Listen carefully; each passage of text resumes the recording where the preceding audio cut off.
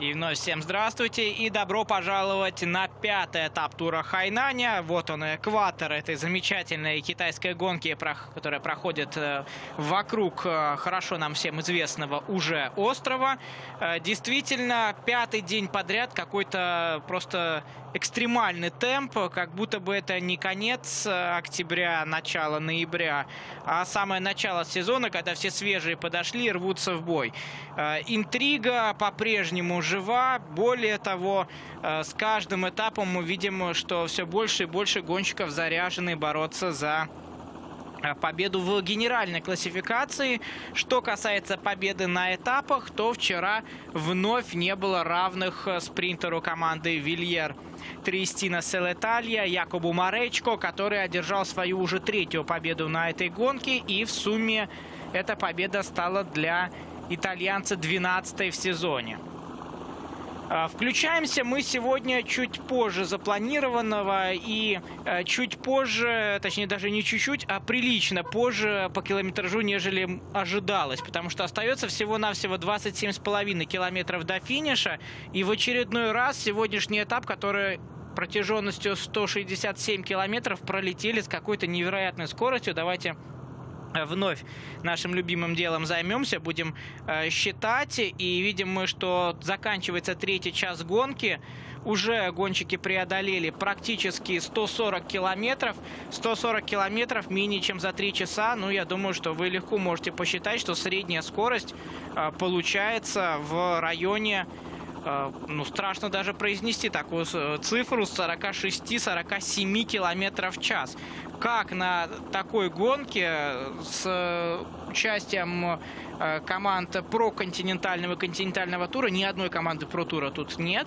Такие скорости изо дня в день. Пятый этап подряд. Ну, это просто-напросто удивительно. Плюс э, можно было бы говорить о благоприятном попутном ветре. Да, он порой присутствует, но ведь это гонка, которая, по сути, проходит по периметру Э, острова Хайнань, который имеет такую овальную форму, и вот половину этого овала уже преодолели. Так что хочешь не хочешь, но каждый раз ветер вслед за направлением гонки меняться не может. Э, так что э, действительно стоит отметить, с какими запредельными скоростями проходят события. Был на наших экранах сейчас Мартин Лас, гонщик команды Делько Марсель Прованс КТМ, спринтер из Эстонии, обладатель зеленой майки. Точнее, сегодня на старт он вышел в зеленой майке. Принадлежит она якобы Моречку, но поскольку сам итальянец в желтой майке лидера генеральной классификации, то по наследству майка очковая досталась именно гонщику Делька Марсель Прованса. А, ну и, кстати говоря, на будущий год нет контракта у Мартина Ласса, и его соотечественник, э, другой эстонский гонщик, в Твиттере забавно написал, что э, как же так, у второго по силе спринтера э, Тура Хайнаня до сих пор нет контракта на будущий год, но насчет второго э, по силе э, я бы, если честно, поспорил. Э, Все-таки есть э, Йон Берастури, испанский баск из команды Юкио, но тем не менее Э, тем не менее, и э, Мартин Лас находится совсем неподалеку с точки зрения своих э, сил. И ко второй позиции в плане потенциальной силы спринта он входит. Теперь немножко о том, как складывались события сегодняшнего этапа. Был ранний отрыв Э, которые достаточно быстро добрали. Э, затем уехал еще один, э, в котором были Оскар Пуэль из Юкио, а также Дженнер Кастильо, Фрицеки, Мейли Ридер. Однако через какое-то время к ним присоединился еще и Демар. В итоге этот отрыв нейтрализовали. После чего последовала новая атака и синициировали ее Алексис Картье и Бенджамин Прадес из Юки как раз таки.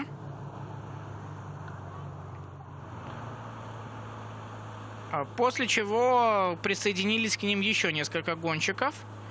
А, это а, Шпеглер из швейцарской команды и Линхард из Воральбека, достаточно сильный гонщик. После чего начали они увеличивать свое преимущество, и на данный момент На данный момент оно составляет 42 секунды, чуть более чем за 20 километров до финиша.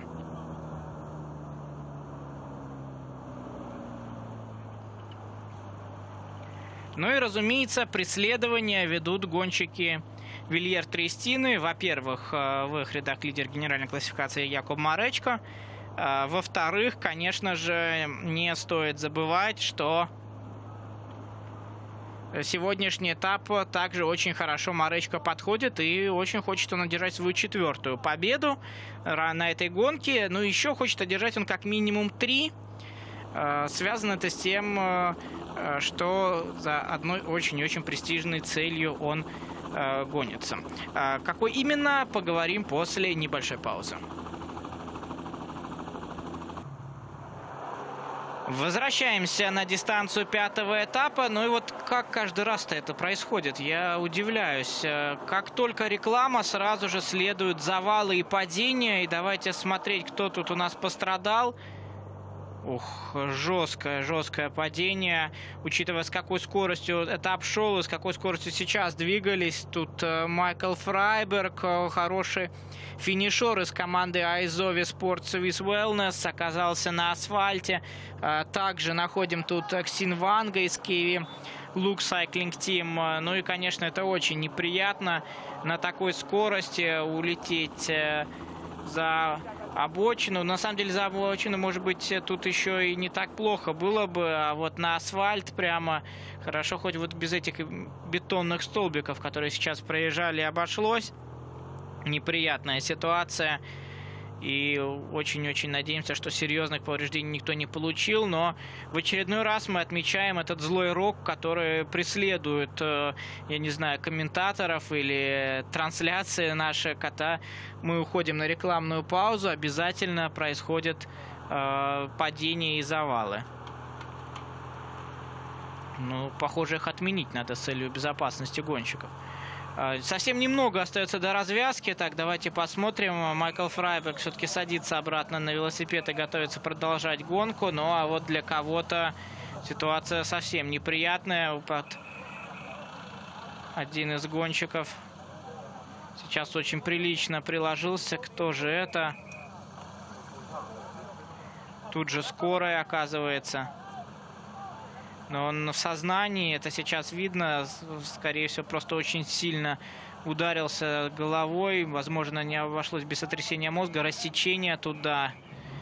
Ох, неприятно. По-моему, по-моему, это Ченг Чучен. Дождемся официального подтверждения. Ну, какой же неприятный момент. Ну, а это на наших экранах Лукас Шпенглер, кончик команды Swiss Cycling, который находится в отрыве, так же, как и э, Фабиан Линхарт из Ворлбека.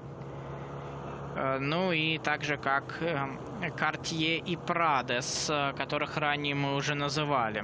Да, жесткое падение, которое явно не скрасило картину от этой гонки. И перед уходом на рекламную паузу обсуждали мы задачи Якоба Маречка. И помимо побед на этапах, и помимо того, что он говорит о том, что, в принципе, если будет хороший у него запас, то, возможно, постарается он высоко подняться в генеральной классификации.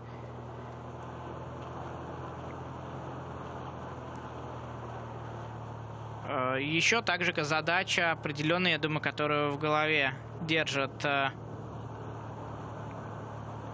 Якуб это догнать э, двух гонщиков Quick Step Floors, Марселя Киттеля и Фернандо Гавирию по общему количеству побед э, в сезоне. У немца и колумбийца их по 14, у Маречко на данный момент 12. Он догнал Петера Сагана и сейчас делит с ним третью строчку.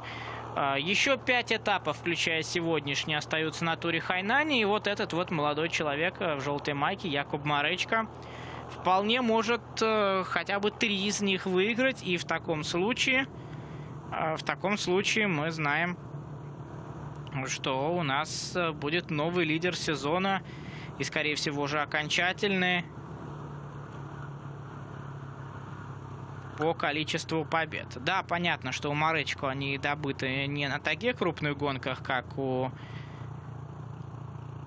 Кителя и Гавирии, но в данном случае это имеет второстепенное значение. А вот само число побед главнее показать. 56 секунд, смотрите-ка, в запасе у квартета Э, лидеров, и уехали туда очень солидные гонщики. Еще когда я следил за трансляцией э, в Твиттере, когда еще не пошла у нас телекартинка, э, сразу же подумал о том, когда увидел, кто уезжает, что догнать будет их проблематично, потому что особенно, наверное, Линхарт, да и Шпенглер и Прадес гонщики высокого уровня, Опять же, если брать во внимание средний уровень э, составов команд на туре Хайнане. Это, по сути, лидеры своих команд. Бенджамин Прадес, э, это гонщик команды Юки японской. И мы ждем от него особой активности на седьмом королевском горном этапе тура Хайнане. Но он уже сегодня поехал вперед. И похоже, что у его атаки есть э, перспективы. Э, ну и про Фабиана Линхарда можно сказать, э, что гонщик, обладающий очень и очень неплохим э, потенциалом 93-го года рождения – Э, в сентябре исполнилось ему 24 года. Отличный сезон он проводит. Э, третьим был на престижной немецкой гонке Рундум Кёльн. Проиграл только Грегору Мёльбергеру из Боры и Мацу Вюрцу, Мацу Шмидту из Катюши. Также, помимо этого, третье место на швейцарской однодневной гонке Туру Берна. Проиграл Браму Вельтону и Филиппо Э, Фортину. Э, ну и много-много хороших э, достижений, много хороших результатов. Даже принял участие в групповой гонке чемпионата мира в норвежском Бергене. Добрался до финиша, стал сотым. Ну а затем Тур Венде 1 октября и э, э, Линхард третий после Кристофа Лапорта и Юстина Юля. Еще одна неплохая отметка в его списке результатов. Ну а у нас э, еще одна, будем надеяться, небольшая пауза. Возвращаемся на дистанцию пятого этапа и посмотрите, какие серьезные повреждения тут у гонщика команды RTS Mountain Racing Team Полихрониса Цорцакиса. Греческий гонщик, достаточно сильный. Сейчас он сумел вернуться в основную э, группу, но очень прилично ободрал он плечо. И, конечно же, сегодня ночь для него будет очень непростой, потому что как лежать, когда вся кожа на плече ободрана, как вообще нормально спать, это традиционные такие э, проблемы для гонщиков с обостренной асфальтовой болезнью. Э, тем временем 45 секунд у нас за 15,7 километров до финиша. Тут каждая сотня метров имеет значение. Э, все еще очень неплохо и очень слаженно работает группа отрыва. И все еще, на мой взгляд, определенные перспективы у них э, остаются на то, чтобы все-таки дотерпеть до финиша. А, пятый этап, давайте чуть подробнее о нем. Стартует он из города Данжу, где вчера финишировал этап четвертый. Э, едет по направлению к а, побережью на юго-запад, после чего, настигая побережье, вновь уходит вглубь материковой части к а, городу под названием Чангхьянг. Протяженность этапа 167,5 километров, и как раз в Чангхьянге и будет финиш.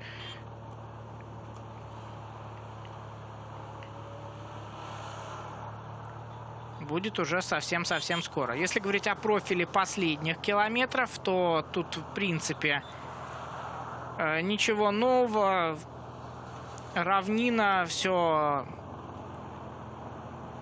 ровное как стол без каких-либо неровностей, без каких-нибудь холмов, без каких-нибудь э, сужений или же крутых поворотов. Э, по крайней мере, на роутбуке Именно такую информацию мы получаем. Хороший, быстрый, скоростной спринт должен быть. Опять же, должен быть, если сумеют отрыв нейтрализовать.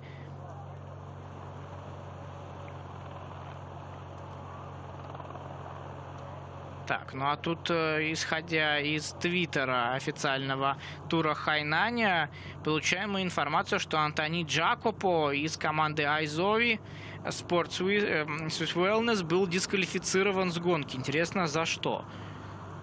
Э, Джакопо, кстати говоря, вчера был третьим на этапе.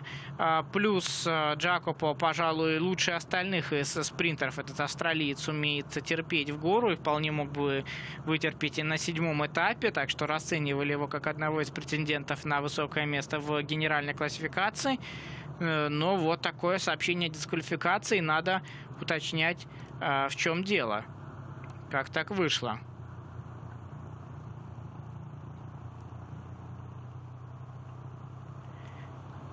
Ну, в любом случае, завтра мы точно сказать уже это сможем, но, опять же, исходя из официального твиттера э, гонки, Антони Джакопо был дисквалифицирован.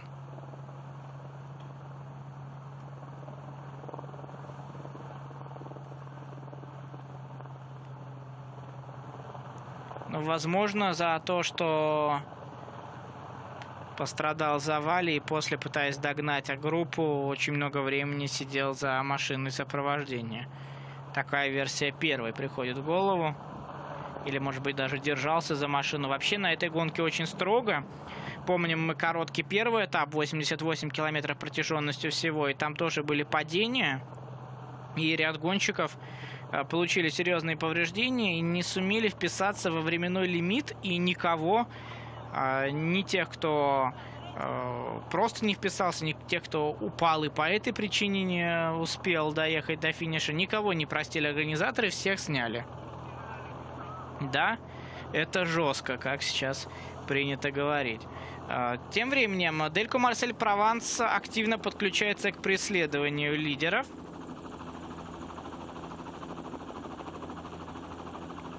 И наряду с Вильером активно догоняют. Возможно, они э, верят в перспективы Мартина Ласса. Возможно, его и вторая, третья позиция на этапе вполне устраивает. Набирать еще очки э, в зачет зеленой майки и, по крайней мере, носить ее у себя на плечах до того момента, пока желтая майка на плечах э, якобы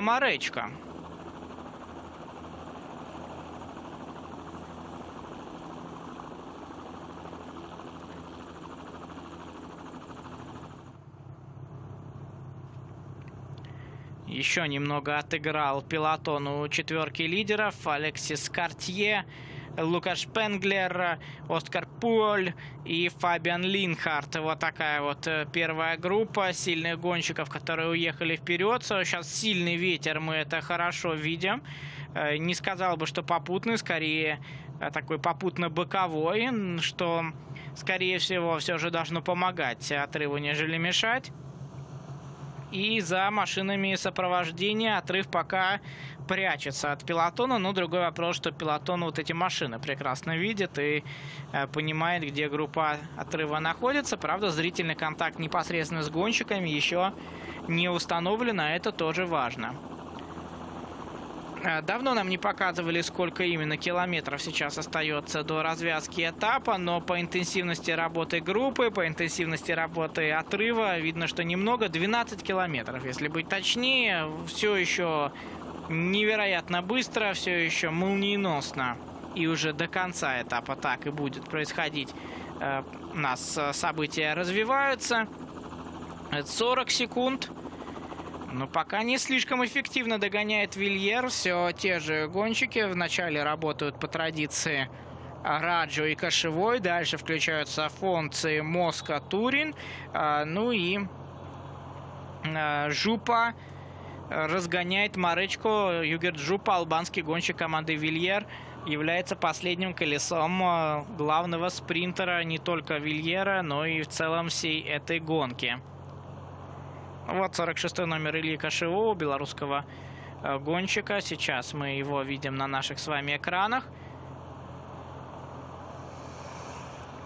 Но, судя по внешнему впечатлению, Вильер все еще контролирует ход этапа и уверены, что отрыв догнать э, сегодня сумеют.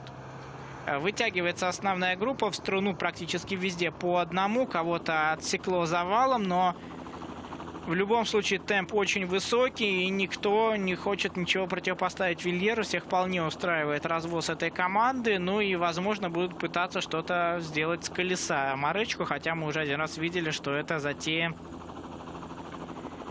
не самое лучшее. Единственный этап, который Маречко проиграл, это был этап под номером один, короткий этап на 88 километров. Не лучший развоз был в исполнении Югерта Жупы, да и вообще работа в исполнении Вильера.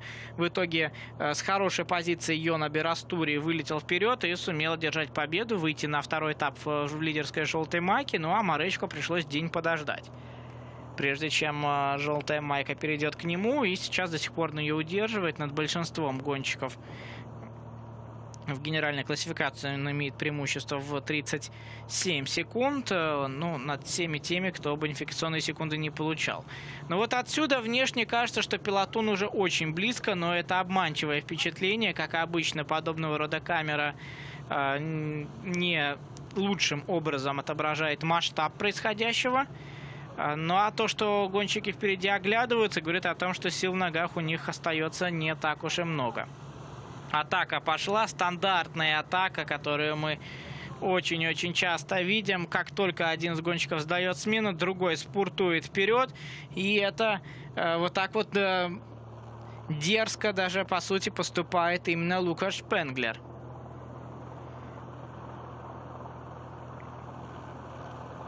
Ну вот, похоже, первым сдается все же Картье. А Линхарт и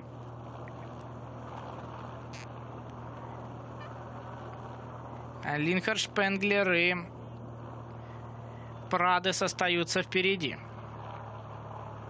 Менее 10 километров до финиша тем временем. Графика дает нам 36 секунд, но на деле уже проще с вертолетного плана и э, с камеры на мотоцикле ориентироваться, потому что прекрасные пилотоны и основная группа помещаются в один кадр.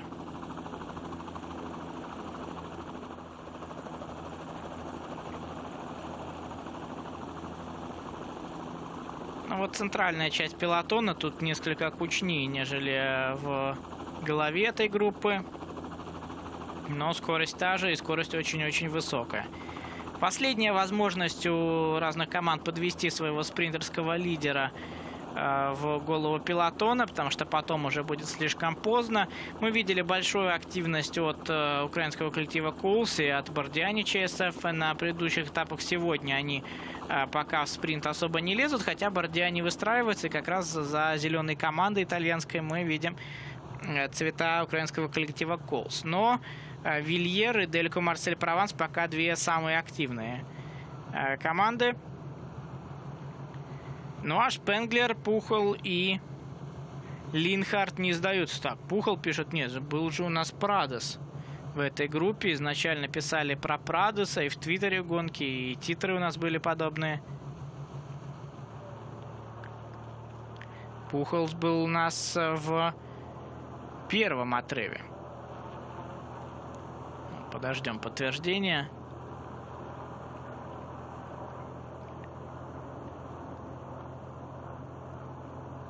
Маречка своей традиционной посадки. Готов сегодня одержать четвертую победу на туре Хайнане. 13 в сезоне.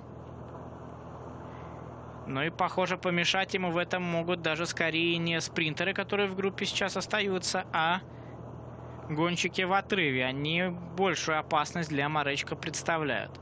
27 секунд вот обновилась графика, хотя мне, если честно, кажется, что еще меньше сейчас остается в запасе у группы отрыва. Один за другим гонщики Вильера уже начинают сдавать смены окончательно на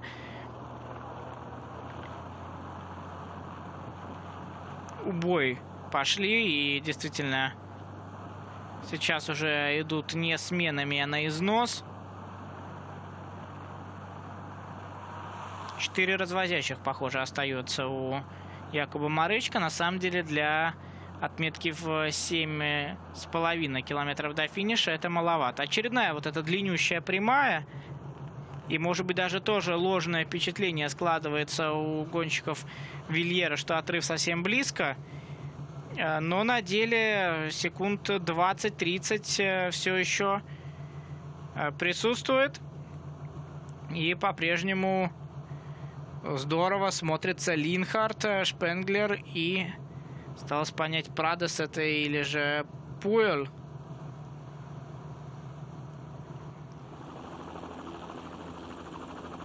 Ну, при более детальном рассмотрении сможем понять.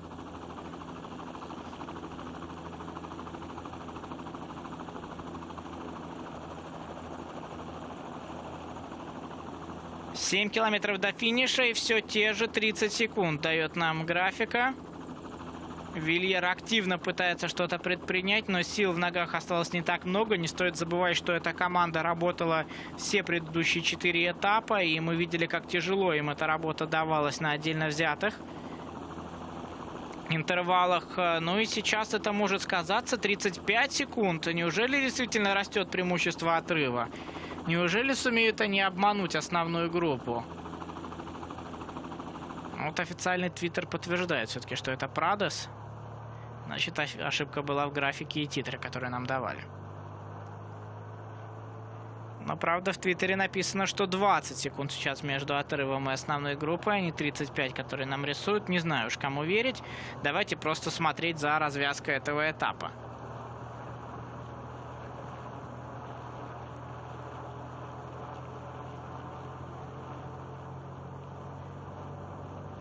Не самый лучший кадр сейчас э, с мотоцикла. Тут э, очередная хорошая смена мы видим в исполнении Линхарда была.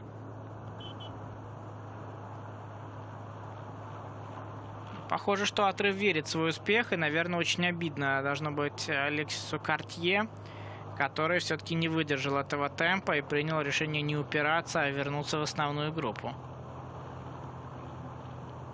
Ровно 6 километров 35 секунд, судя по графике. И вот так вот внешне тоже кажется, что пилотон все еще достаточно э, далеко. И у этого трио неплохие шансы.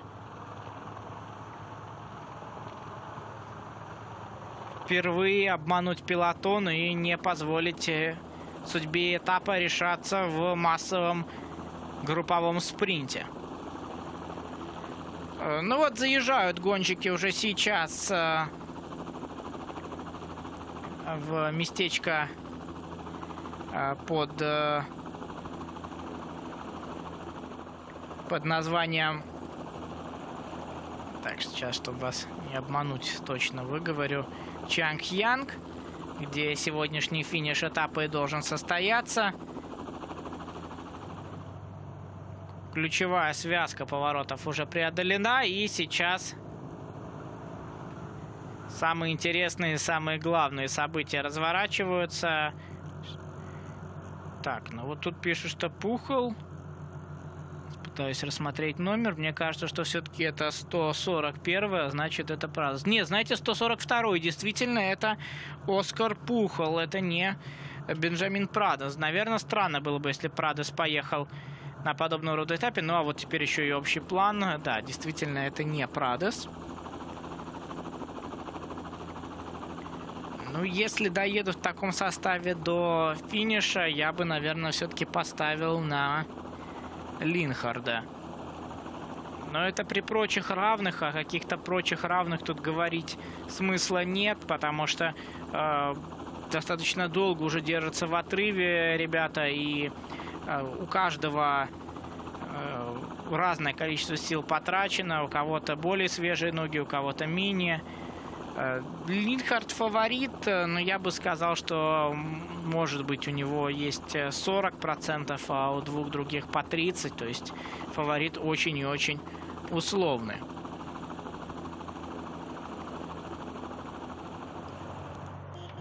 Двадцать девять секунд по последней информации. Бордяни пытается подключиться к преследованию, понимая, что у Вильера, похоже, сегодня не все получается. Но не слишком ли поздно они спохватились, э, потому что сейчас у Марычка это по сути остается два помощника. Отрыв э, стабилизировался и держится в районе половины минуты, 30 секунд. А до финиша все меньше и меньше.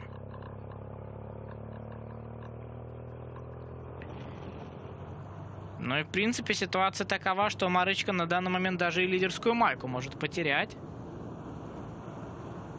Поэтому в любом случае догонять нужно.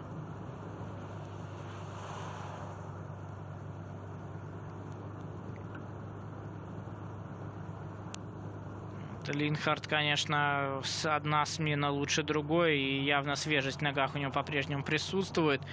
Пытался до этого дергать Шпенглер, но очень легко играючи его атаку закрыли все, кроме Картье. Три километра до финиша тем временем, и уже процентов 90, мне кажется, можно отрыву отдавать. Но если сами не заиграются, если раньше времени не начнут делить шкуру неубитого медведя, то должны сегодня этот этап разыгрывать гонщики в отрыве. Пилотон будет нестись до последнего, тут уже тормозить никто не станет. Но судьба отрыва, похоже, уже в руках самого отрыва. А такое бывает крайне редко. Ну вот э, сразу несколько команд начинают выезжать вперед. Пытаясь что-то противопоставить. Два километра остается. Пожалуй, секунд 20 еще в запасе у отрыва есть. Их может вполне хватить. Не показывают нам, где сейчас пилотон. Вот поворот отрывом преодолен. Это тоже на руку беглецам, потому что пилотон, разумеется, этот э, вираж пройдет медленнее. Метров 200-300 преимущества отрыва, этого должно хватить. Тут еще и швейцарская команда выходит вперед и тормозит э, группу. Все, пилотон э, отчасти смирился. Лас пойдет бороться за промежуточные, за очки на финише этапа с четвертого места, не знаю, уж будет пытаться что-то Маречко показать. Но сегодня Вильер с задачей своей не справились. Они отрыв отпустили, отрыв опасный. И, похоже, отрыв сейчас разыграет между собой победу. Пухол, мощная смена. Шпенглер садится с трудом к нему на колесо. Э, Линхард э, пока выглядит э, наиболее убедительно из этой троицы. И вот в данный конкретный момент я бы поставил именно на гонщика команды Воральбек. А посмотрите, пилотон-то оказывается ближе, чем казалось изначально. Неужели шансы есть? Тут последний километр уже начинают смотреть друг на друга, понимают, что сейчас можно потерять все, что было нажито непосильным трудом на последних 800 метрах, и это было бы очень и очень обидно.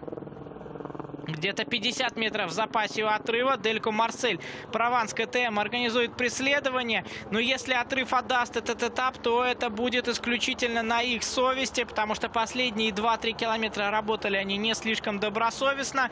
Э, Вильер и Югерджупа повезли Маречко. Маречко уже видит группу отрыва, и надо ему заранее будет начинать спринт, если он хочет сегодня выиграть. И неужели, но отрыв, похоже, все-таки нейтрализует. Так и есть. Примерно за 300 метров до финиша финиша. И вот он, э, супер развоз жупой на Якоба Моречко. Вылетает итальянский финишер. Из первой позиции будет продавливать. У него в очередной раз нет, по сути, конкуренции. Но попробует Лас что-то сделать. Он пробует, э, но бессмысленно. Слишком мощен Якуб Моречко. Четвертая победа подряд. Четвертая победа на туре Хайнаня. И тринадцатая победа в этом сезоне. Остается всего-навсего одна до Марселя Кителя, Фернандо Гавири. Ну как же так отрыв не выстоял? Казалось, что все уже в их руках. Большой запас был за 2 километра до финиша. И все растеряли. Ну, может быть, действительно силы закончились, а может быть, заигрались.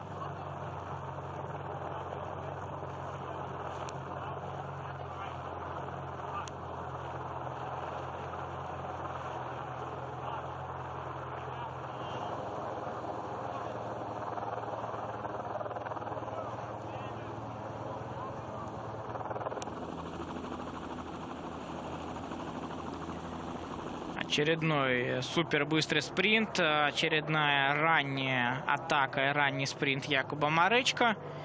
И очередная его победа. Сейчас будет благодарить он своих э, напарников по команде. действительно, без них сегодня вряд ли бы у него что-то получилось. На грани все было. И, пожалуй, да, был этап, где Джордан Чин практически дотерпел до финиша. Добрали за 800 метров. Но тут добрали за 300. Вот яркие, красивые и очень быстрые этапы получаются на туре Хайнани. Это не может не радовать. У нас сейчас еще одна небольшая реклама, после которой будем подводить итоги.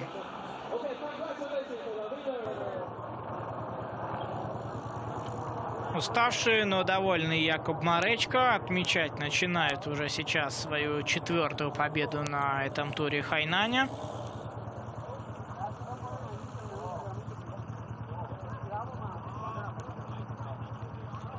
Жаркий сегодня этап, солнечный день, э, температура под 30 градусов и очень высокая влажность. Ну вот Кулик, похоже, с Ласом зарубились за второе место. И э, эстонский финишер команды Делько Марсель Прованс КТМ оказался быстрее.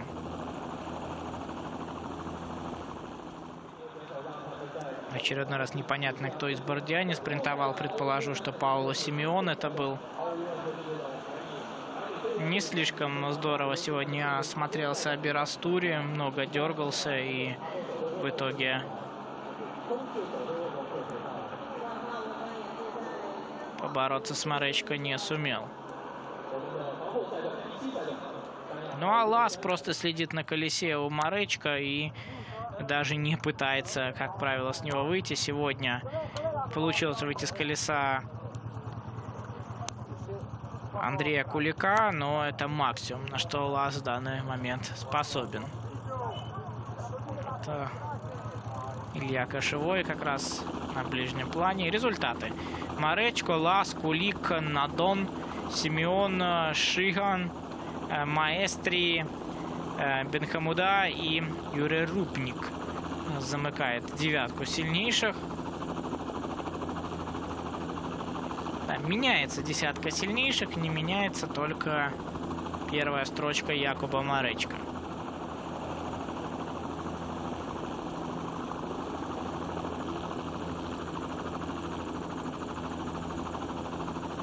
Еще 10 секунд бонификации, между прочим. Посмотрим, что на горном этапе Маречка сумеет показать. Его амбиции в генеральной классификации становятся все ощутимее.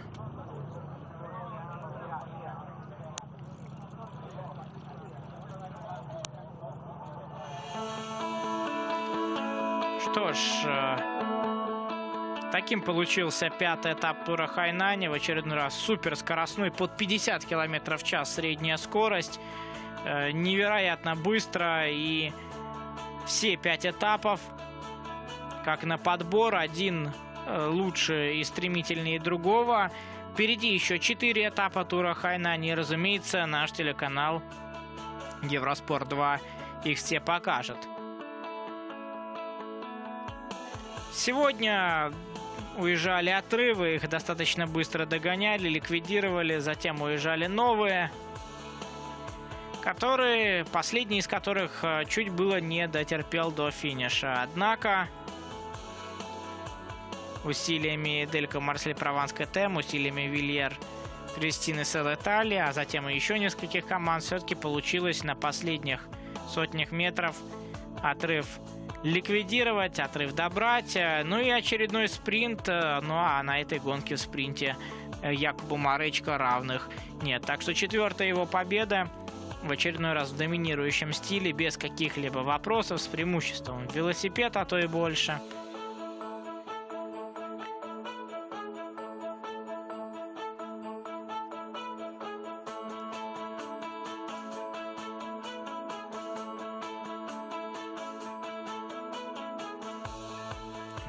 Вот отважные ребята в отрыве Шпенглер, Линхард, Пухол. И вот он итоговый спринт. Отличный развоз в исполнении Югерта Жупы и Якуб Маречка за 250 метров, чуть даже побольше, начинается ускорение и по сути, никто с колеса даже близко выйти так и не смог.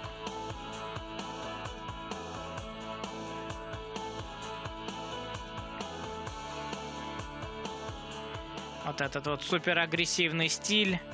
Голова ниже руля. Такой же, как и у Калиба Юина. Уже много раз мы его отмечали.